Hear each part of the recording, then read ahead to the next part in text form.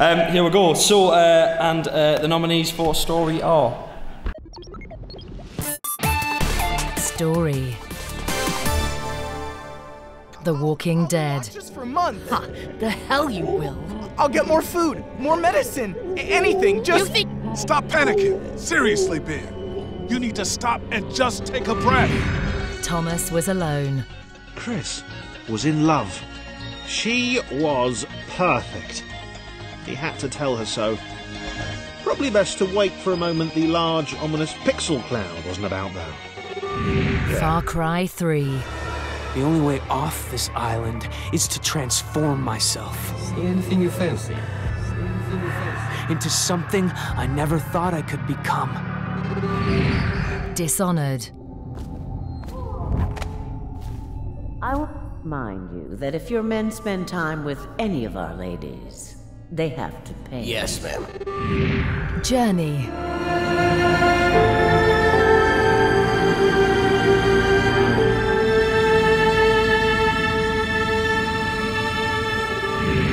Mass Effect 3. Sensors show a Reaper parked at the Shroud facility. No way you're gonna be able to land a shuttle there. Get everyone assembled in the war room. I want eyes on the shroud. Aye, aye, sir.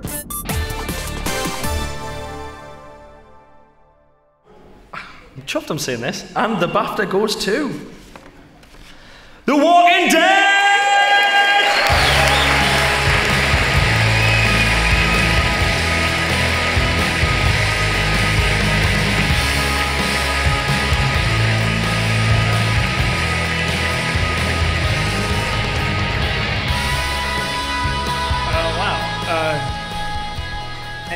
Hey, uh, this is awesome. Thank you so much. Uh, this story probably wouldn't exist without a zillion other people. Uh, everybody at Telltale, every single person there contributed something to this story, whether it's a line of dialogue or a whole moment. Robert Kirkman, obviously, Dan and Kevin, like, let us tell a crazy story and never told us to stop, which is kind of insane. But uh, thank you so much. This is awesome. Yeah. Uh, yeah.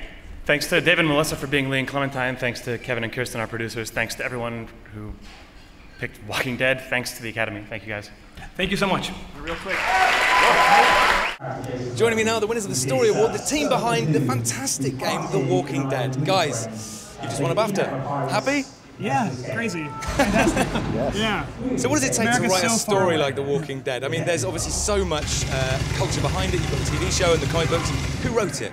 Uh, there's a group. I mean, uh, so Jake and I kind of came up with the story. The whole Telltale crew like throws in. We sit in a big room and we all fight about it, and uh, we wait until people are all arguing about what they would do in a given moment, and then we know we have a good thing, and then we all go home and cry, and we come into work the next day and we make a video game. And that's how you do it.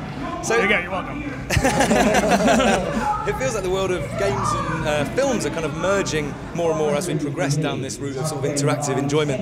Um, how does that play into what you guys do? How much does the, the TV show or the, or the comic book play a part in what you're making? Well, we're certainly built on being able to work with franchises and create an interactive experience that brings a whole other level to it.